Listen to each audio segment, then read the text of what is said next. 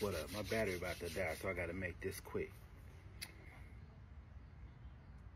I really enjoy the time that we living in when it comes to making music. It's so many tools. You can do a lot with a little nowadays.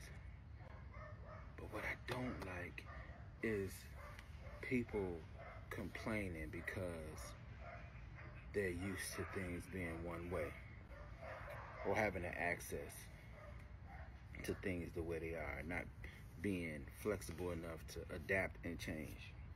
Man, I ain't complaining.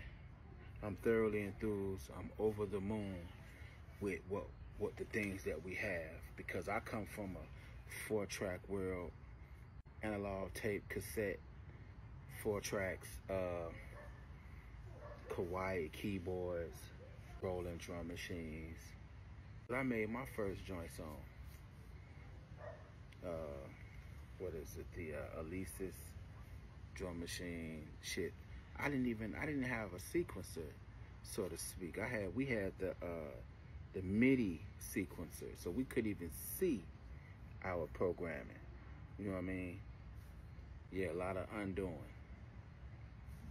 the undo function was our friend. So being where I'm at now, where I can make shit on my phone. Are you crazy? Man, I wish I would complain. I have nothing. I have zero to complain about nowadays. I'm just happy that I can get my thoughts out whenever I feel like it. So, nah, I'm not for the join the hate train of Ableton's new product. I'm not for the join the hate train of the workflow changes to the MPC. I'm not for the complain at all because what a time to be alive for a producer and independent artists. This is Grayed School 101.